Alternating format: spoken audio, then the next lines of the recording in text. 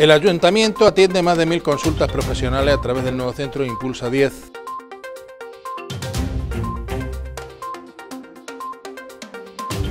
Se aplaza el pregón de la Virgen de Luna. El presidente de la Junta anuncia que se sumarán los recursos sanitarios privados a los públicos caso de ser necesario. En deportes, la Peña a los Leones lleva todo el mes de enero sin competir.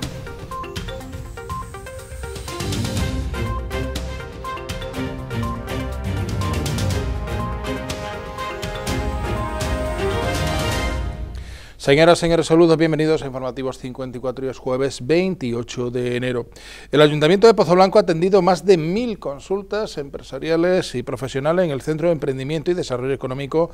Impulsa 10 desde que se abrió en el mes de octubre, según ha dado a conocer el alcalde de la localidad Santiago Cabello y el concejal de Desarrollo Económico Eduardo Lucena. En concreto, dudas y consultas de alrededor de casi 300 personas de forma presencial cerca de 450 a través de correo electrónico y mensajes escritos y se han atendido 600 peticiones telefónicas, las más habituales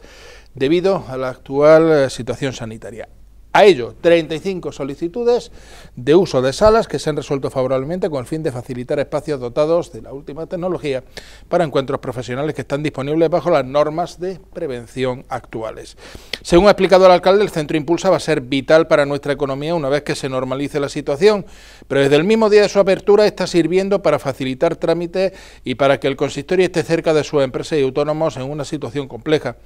El concejal de Desarrollo Económico también ha explicado que ya está diseñado el plan de actividades de este espacio, que se abrió en el antiguo centro de salud tras afrontar una intensa reforma en la que participaron más de 20 empresas pozalbenses.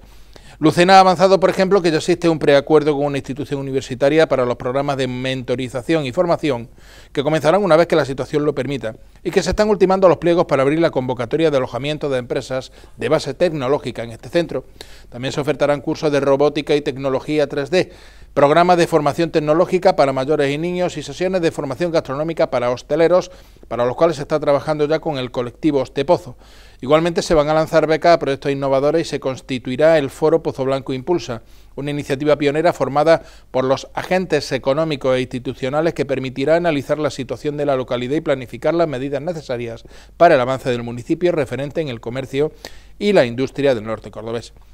La idea en este campo es crear un observatorio que sirva para detectar potencialidades con el fin de planificar el futuro con rigor y a través del diálogo con los agentes económicos. Eduardo Lucena en lo que se refiere a la gestión de su departamento. También ha explicado que se han iniciado los trámites para la ayuda directa de 300 euros a 329 empresas y ha explicado que se ha exonerado en 2020 del pago de la tasa de veladores al sector de la hostelería. En cuanto al comercio, ha recordado que ya están abonados también los bonos de descuento que se lanzaron en el mes de diciembre y que supusieron un volumen de negocio de casi 200.000 euros, del que se han beneficiado 149 empresas y 2.200 ciudadanos. Al tiempo se han desarrollado servicios novedosos, como reparto a domicilio, que ha superado el centenar de servicios de su puesta en marcha, o el de ayuda a la digitalización de establecimientos hosteleros, desarrollado también desde el Centro Impulsa 10, y del que se han beneficiado medio centenar de empresas. El concejal ha recordado por último que se sigue avanzando en dos programas muy importantes para el equipo de gobierno, como son el Pozo Blanco Smart City y el Pozo Blanco se mueve. Tanto el alcalde como el alcalde como el concejal han agradecido la labor que empresarios, autónomos, profesionales y trabajadores están realizando en una situación tan complicada como la que ahora se vive y han explicado que en las próximas fechas, y una vez que se aprueben los presupuestos, se van a implementar nuevas medidas de apoyo tanto para los sectores económicos como para los agentes sociales. Precisamente en los días en los que se abrió el centro, estuvimos hablando con Eduardo Lucena para conocer más del funcionamiento del mismo. Sí, todos los proyectos son ilusionantes y los grandes proyectos siempre se hacen eh, de esperar. Este en concreto, pues bueno, por una parte vino la, eh, la construcción del edificio y una vez que el edificio terminó todo su, sus posibilidades arquitectónicas y su resolución, pues comenzamos con lo que es la dotación, que es lo más importante de, eh, de esta infraestructura, que es dotarlo para que pueda tener ese uso que queremos buscar, al cual estamos ya programando eh, para que tenga ese contenido eh, particular y eh, podamos avanzar en las líneas de la digitalización, la innovación, las nuevas tecnologías, la formación, el análisis para tener un futuro coherente, un futuro de desarrollo económico importante en Pozo Blanco y que este centro sea el epicentro, nunca mejor dicho, donde se gestionen todas esas decisiones. Lo cierto es que más allá de un local para realizar actividades, esto va a ser el centro neurálgico de toda una serie de proyectos transversales, como por ejemplo ese eh, Pozo Blanco Smart City que, presentábamos también hace unos días. Se interconecta, ¿no? Vamos a, decir que desde aquí eh, pues eh, ya, hemos dicho que va a ser el, epicentro, el centro neurálgico, donde vamos a trabajar, vamos a analizar, vamos a tomar las decisiones eh, con el mejor equipo posible y siempre buscando esa interconexión entre lo que es el casco urbano, lo que es el, medio natural, eh, en torno a la digitalización y la innovación. Eh, será, una, será una realidad y este centro pues da esa, esa, posibilidad, ya no solo como local, sino como la capacidad que tiene de, albergar por cuantos más grupos sociales que puedan aportarle a un proyecto integral de ciudad como va a ser la de Pozo Blanco. Lo primero, empezando por, la gente que va a trabajar eh, aquí del ayuntamiento. Bueno, ya de, momento mm, el personal de desarrollo económico del ayuntamiento ya está trabajando aquí. Eh, se sigue impulsando esa descentralización, digamos, eh, esa, multiplicidad de puestos de trabajo dentro de la corporación. Correcto, ya son aspectos que son muy relevantes en la economía o, en, o en la participación de un ayuntamiento y el desarrollo económico queremos que sea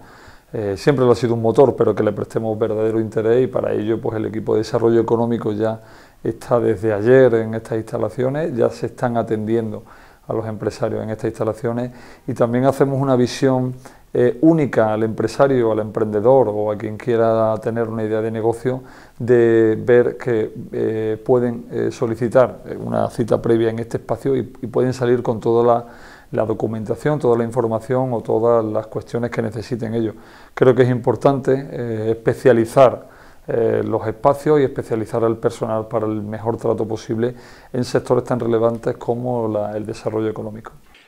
Sí, a ver, es sencillo en su, en su enfoque, puede ser complejo en entender cuál es el futuro que va a deparar este centro pero es tan sencillo como, como, atender a una persona que tenga una idea de negocio, o que tenga un negocio y quiera impulsar eh, una mejora o una industria que quiera eh, eh, abrirse al comercio exterior, todo eso es tan sencillo como venir aquí. a partir de ahí, pues todo lo que esto alberga sí que es algo que, nos está sorprendiendo por lo innovador y lo novedoso que es, que no estamos acostumbrados a verlo, pero al final es una sensación de, de ver cómo Pozo Blanco tiene un espacio dedicado a, ver el futuro de, una perspectiva real y sentirse orgulloso de que este espacio pues reúne todas esas condiciones en, cualquiera de sus salas, que son muchas y están todas pensadas para que en todos los sectores seamos competitivos en, el futuro. Efectivamente, tiene muchos espacios diferenciados este, este centro. ¿Cuáles son esos espacios? Bueno, fundamentalmente son espacios dinámicos, espacios que pueden transformarse en función de su capacidad. Eh, fundamentalmente tiene un espacio de trabajo abierto para, todas esas personas, lo que le llamamos un coworking, ¿no? para personas que necesiten puntualmente eh, unas horas de utilización, pues tienen un, espacio. Tenemos una serie de salas de reuniones, en concreto son tres con diferente capacidad eh, de aforo y luego una de ellas dotada pues con un sistema eh, puntero eh, a la hora de, lo que es una videoconferencia, lo que es una sala preparada para videoconferencias, para webinarios, que eso no disponíamos ninguna instalación eh, municipal y esta ya alberga, que está también a disposición de los empresarios, así como una sala totalmente dotada con los últimos elementos tecnológicos, smartphone, tablet, ordenadores, esa, sala será dotada eh, con el compromiso de formar y de que eh, la sociedad de Pozo Blanco en todos sus eh, niveles y edades puedan abarcar, esa formación, desde los más jóvenes que conozcan el desarrollo de las mismas y las personas de más avanzada edad puedan, vamos a llamarle, sobrepasar esa brecha digital que hay con el uso de estas instalaciones, van a poder tener su espacio. Contigo está la sala de innovación, donde la robótica, la programación, eh, va a ser una realidad, lo que es el uso de una impresora 3D, lo que es todo esas cuestiones, pues albergarán ese conocimiento, tener una sala específica de formación dotada con esas pizarras que hoy en día vemos que utilizamos en los colegios para, para que el sistema educativo también se forme aquí en este centro y podamos crear contenidos importantes que si ocurre cualquier acontecimiento tipo al que nos ha acontecido estos años de atrás, este, perdón, estos meses de atrás, pues podamos solventarlo de una manera eh, importante. Una sala gastronómica que está destinada, como no, al descanso de las personas que aquí se encuentren y fundamentalmente a la formación en, el apartado de la hostelería para formar esas personas que van a tratar eh, a los clientes en los diferentes restaurantes o espacios hoteleros y, como no, pues eh, esa cocina innovadora con el fin de poder eh, darle protagonismo, innovación a la cocina tradicional con los productos tradicionales, pero que podamos dar un pasito más, más allá. Para ello está todo conjugado, todo unido y rematar el espacio pues con, con, una sala con capacidad para 40 personas donde se pueden desarrollar cualquier tipo conferencias, ponencias, eh, mesas de valoración, foros, eh, en definitiva todo lo que necesitamos para tomar y analizar la situación actual de, de Pozo Blanco y llegar a las mejores conclusiones posibles para afrontar el futuro con garantía. Hay que intentar siempre ir un paso por delante. Mm, hace medio año o, poco más, eh, la realización de, seminarios vía telemática, los, webinarios, que es una palabra que, hemos descubierto también ahora, bueno, era una excentricidad, era si el ponente no podía desplazarse, estaba en el extranjero o algo por el estilo. Mm, ¿Quién nos iba a decir que iba a ser el pan nuestro de cada día? Bueno, una herramienta que ahora mismo te tienes que familiarizar con ella y, cómo no, eh, tener conocimientos. Pues nosotros ahora mismo estamos en un centro pionero eh, de tener salas que están eh, dotadas con ese sistema para poder realizarlas, bien recibirlas o bien aportarlas. también lo básico de este centro es que no es de uso administrativo, o sea, no es de usos para el ayuntamiento. El ayuntamiento tiene aquí sus funciones, pero su capacidad es de ser eh, abierto a cualquier empresario, o sea, cualquier empresario puede utilizar este centro para realizar ese webinario, esa videoconferencia, esas reuniones de empresas, esas reuniones de clientes, eh, le, facilitamos, ¿no? le aperturamos un espacio eh, de comodidad, un espacio de, diseño, porque también el diseño es importante a la hora de, de sentirnos a gusto en los espacios y Pozo Blanco lo tiene y, esa versatilidad que puede tener entre la educación, entre, entre el empresariado, entre la administración, es importante que sea versátil y que se pueda adaptar a todas las funciones. Los emprendedores, tú bien sabes, Antonio, como historiador, como conocedor de, de, la idiosincrasia del ciudadano de Pozo Blanco en concreto, es que somos emprendedores por naturaleza. Eh, entonces, eso lo tenemos. Quizás lo que nos faltaba era ese emprendimiento con capacidad eh, de formación. Cuando uno emprende hay dos maneras de emprender, desde el corazón o desde la cabeza. Nosotros normalmente muchas veces se emprende desde el corazón. Tengo una idea de negocio que me encanta que, y me tiro para adelante y me arriesgo un dinero, un capital propio, pero a lo mejor no llevo las mejores condiciones de formación o de conocer en qué territorio me estoy moviendo, que es lo que la cabeza te, te da ese equilibrio. Entonces nosotros queremos que los emprendedores de Pozo Blanco, que los tenemos de corazón, también tengan el conocimiento y la capacidad suficiente para tomar la mejor decisión y que los dos primeros años de vida que tiene un negocio son los más importantes, es donde o lanzas para arriba o vas hacia abajo, pues tengamos ese seguimiento, esa eh, mentorización que puedan permitirle ser eh, sostenibles en el tiempo, que es lo que vamos, vamos buscando. De ahí la industria, somos un pueblo que ayer una persona, un empresario que viene a ubicarse también en Pozo Blanco, las próximas fechas se dará a conocer, vienen con empresas en Extremadura y se ubican aquí, veían como Pozo Blanco tiene a nivel industrial ya no el motor económico andaluz como puede ser en Cooperativa COBA o referente a nivel eh, nacional como es COBA, sino mucha pequeña industria. La industria es el secreto y es el futuro, que no se nos olvide que el servicio está muy bien, pero que España tiene un problema de industrialización, quiere decir, tenemos que producir, o sea, tenemos que hacer cosas para vender. Ese es el secreto y Pozo Blanco tiene mucha pequeña industria. Esa pequeña industria hay que arroparla, hay que ayudarle y hay que hacerla más competitiva en otros mercados, en otros mercados exteriores. Y aunque esto parezca un tópico, nosotros estamos eh, poniendo la semillita para que eso se consiga. Y evidentemente estos industriales que hoy en día eh, dan puestos de trabajo, dan economía al Valle de los Pedroches puedan crecer y puedan aspirar a, nuevas ampliaciones. De hecho, también el esfuerzo que estamos haciendo de crear ese suelo industrial que pronto va a ser una realidad para que todo esto esté de la mano, la formación y la posibilidad de suelo sea una realidad y esa industrialización eh, sea importante en Pozo Blanco, sea un motor, aparte como la formación y las mejoras en el comercio que también es el día a día de, de un casco urbano. La Cofradía de la Virgen de Luna ha comunicado que ante la situación sanitaria que vivimos, en cumplimiento con la normativa vigente, el pregón de la Virgen de Luna, que iba a tener lugar el próximo viernes en el Teatro El Silo, el 5 de febrero, queda aplazado. La cofradía ha acordado junto al pregonero Juan Bautista Escribano Cabrera aplazar esta importante cita para que se desarrolle en su plenitud y correspondiendo al esfuerzo realizado durante los meses previos por el pregonero, que ha manifestado que a pesar del contratiempo sigue esperando ese momento con mucha ilusión. La cofradía agradece enormemente la comprensión de Juan Bautista Escribano Cabrera, así como su disposición para seguir en este camino de la mano de la Virgen de Luna y la cofradía. Ambas partes estudiarán las posibilidades cuando la situación sanitaria lo permita para fijar una nueva fecha para pregonar a la Virgen de Luna. El presidente de la Junta de Andalucía, Juanma Moreno, ha anunciado que en caso de que sea necesario, se sumarían los recursos sanitarios privados a los públicos para poner todos los medios al servicio de los andaluces para que cualquiera que lo necesite pueda tenerlos a su disposición sin coste alguno, ya que según ha dicho nos enfrentamos a una situación complicada como consecuencia de la pandemia de la COVID-19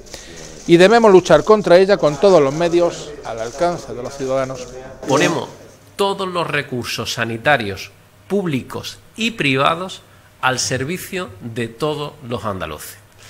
¿Y por qué hacemos eso? Porque tenemos que utilizar todos, todos los recursos que existan en nuestra comunidad autónoma al servicio de la andaluce para evitar, evitar que la pandemia nos pueda superar. Aquí una pandemia de la sanidad en su conjunto. Y por tanto, la pandemia la trabajamos, luchamos con ella, batallamos contra ella con todos los medios a nuestro alcance. Y todos los medios son todos los medios que hayan en el territorio andaluz está, vuelvo a decir, al servicio de los andaluces y en, a favor de la lucha contra la pandemia. Nunca se había hecho un esfuerzo económico en sanidad tan grande como el que está haciendo el actual gobierno. Nunca. Este plan de modernización, de actualización de la sanidad pública,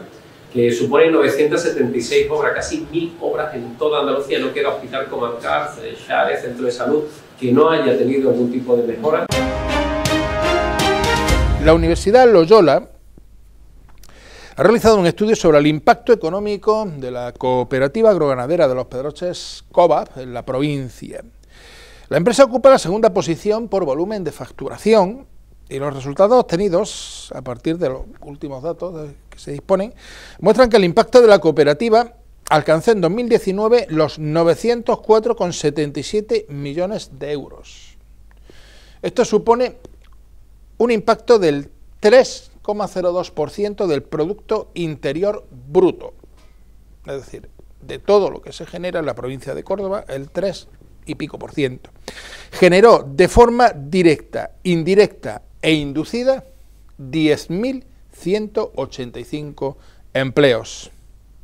El estudio ha sido realizado por las profesoras María del Carmen Delgado y Pilar Campoy del Departamento de Economía, miembro del grupo de investigación Applied and Computational Macroeconomics, y los profesores Horacio Molina y Jesús Ramírez del Departamento de Economía Financiera y Contabilidad, integrante del grupo de investigación Retos para el Crecimiento Empresarial.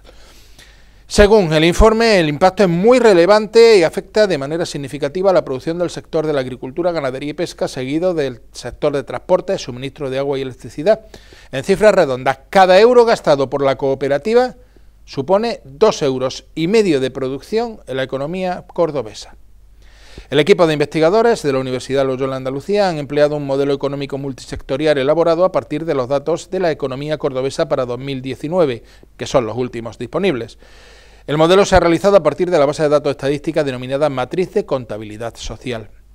Los autores destacan que en el caso de COBA es un ejemplo de crecimiento sostenido a lo largo del tiempo. En la última década la cooperativa ha doblado su cifra de negocios, pasando de 320,4 millones de euros en 2010 a 620 en 2019.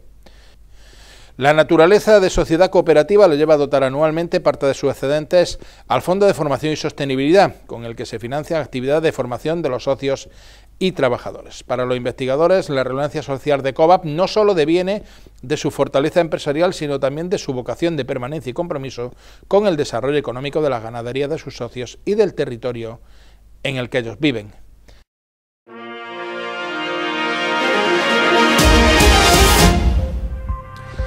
Uno de los grandes debates en el mundo del deporte es si erramos o quitamos el banco.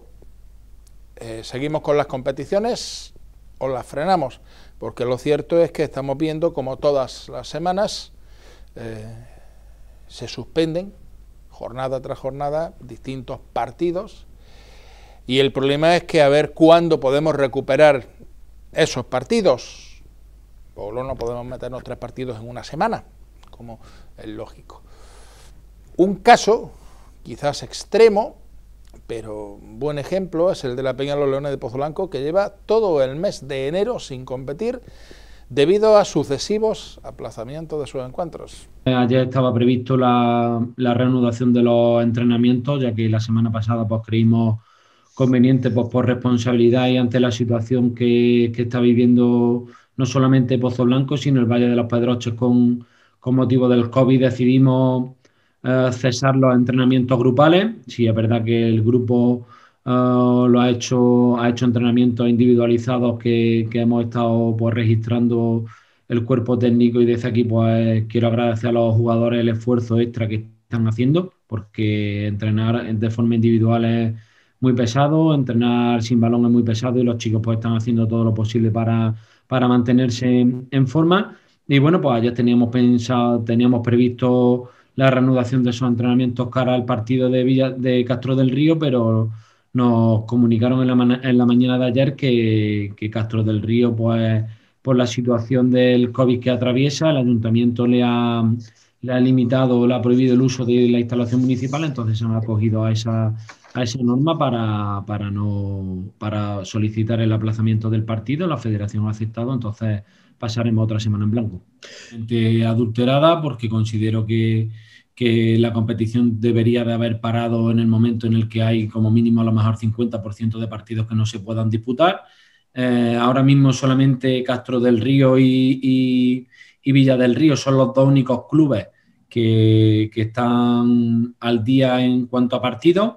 eh, con las 10 jornadas que han disputado. Nosotros estamos con, con, con bueno, con 10 jornadas me refiero hasta, hasta este pasado fin de semana. Eh, nosotros nos vamos a encontrar con 8 jornadas disputadas frente a 11 jornadas que se deberían de haber disputado. Está totalmente adulterada, no solamente por,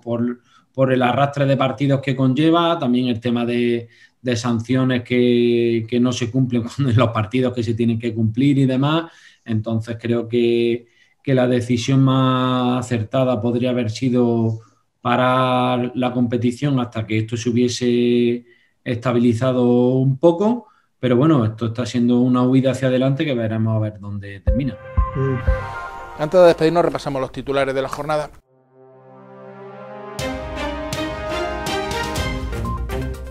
El ayuntamiento atiende más de mil consultas profesionales a través del nuevo centro Impulsa 10.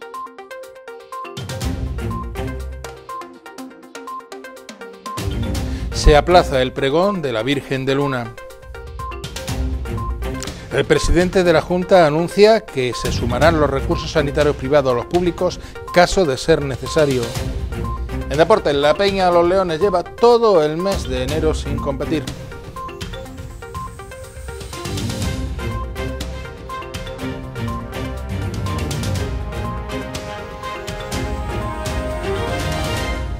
Ha sido todo por nuestra parte. Volvemos con más información de Pozolanco. Cuídense, salgan de casa lo imprescindible, sean responsables, pero sobre todo, sean felices.